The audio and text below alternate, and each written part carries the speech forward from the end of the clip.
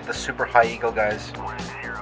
Try to cover underneath me. Hey pilots, Plazma 1945, and in this video I'm about to score a 100 kilometer kill in my flanker. And of course, we're also powered by Fox 3MS here at Red Star Squadron. Get your DCS servers at fox3ms.com.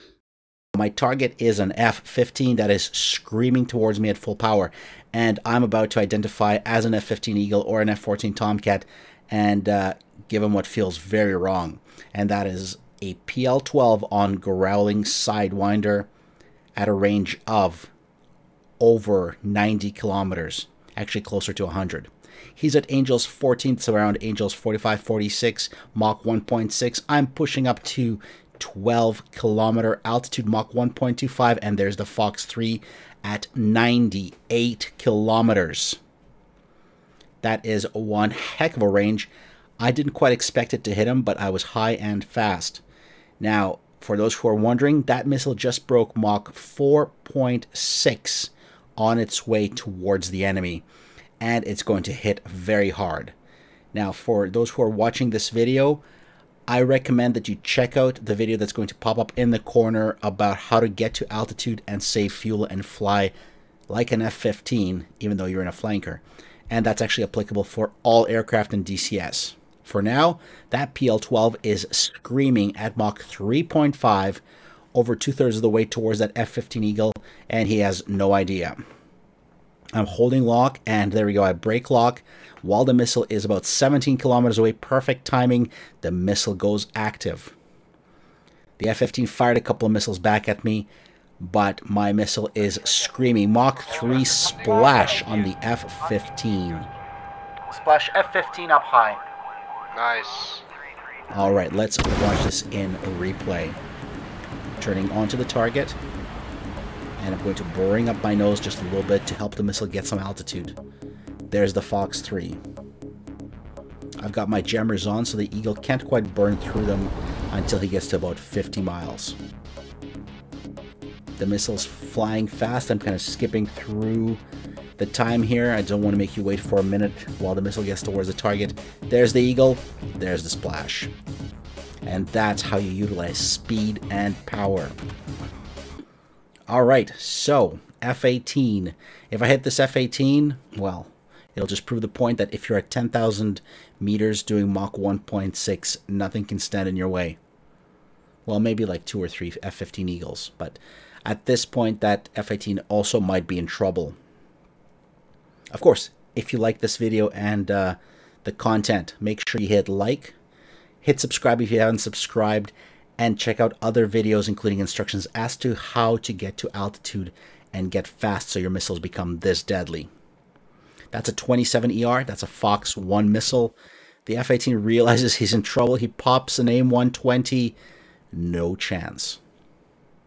Splash by a 27 ER while I'm doing Mach 1.7, turning so fast that his AIM-120 goes stupid. Uh, let's go to the replay. Rolling in, there's the Fox 1s that dive in towards the target. Maintaining lock. That F-18 is trying to extend. He's popping some flares and chaff. Splash F-18.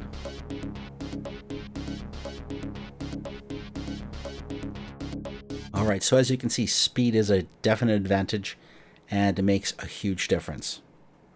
And what I'd like to get from this video is your comments if you've been able to go fast and high in aircraft that are not just Tomcats, F-15s, or F-16s.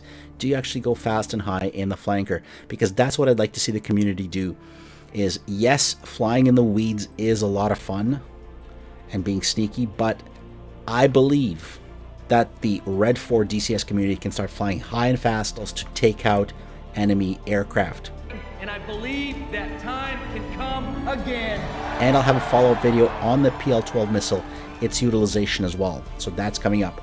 For now, I've got Andre 777 from Red Star Squadron, who's just formed up with me as I was coming in from that sortie. And I think this is our first attempt at a joint landing. He's one of our new recruits.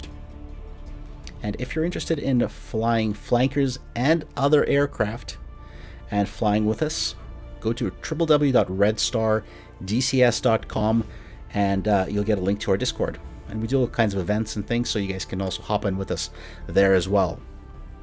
Now, I'm almost out of fuel after that flight, but I was able to get three splashes and assisted my friends as well as we did that sortie. So just coming around to a final for a landing. Not a heck of a lot of fuel, but I had to go around because I was just a bit too fast going into that landing. Alright, so turning in, and uh, you know what? It's a good point to kind of throw out here and discuss. Leave any comments or questions. Of course, comments always help a YouTube channel as well as the likes, but let's get the conversation going in this video. Have you flown high and fast? What are your challenges that you're experiencing? Um, as you can see from other comments, I respond to all comments. And of course, if you are flying single player, get open beta, come to the multiplayer servers. The community definitely could use more pilots flying here. And there is the touchdown with Andre on my wing.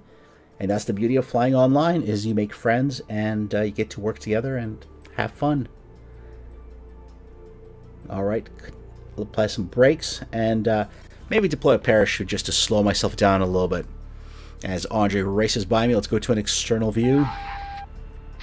Looking good, Andre. Successful Great landing. landing. Brakes out, parachute out. And uh, I'm going to leave you guys with uh, Andre doing some drifting because every squad needs a, uh drifting specialist.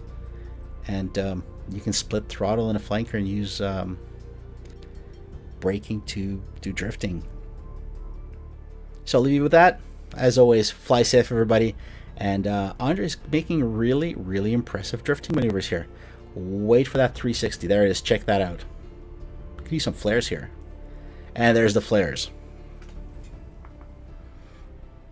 Well done, Andre. Plazma 1945 is out.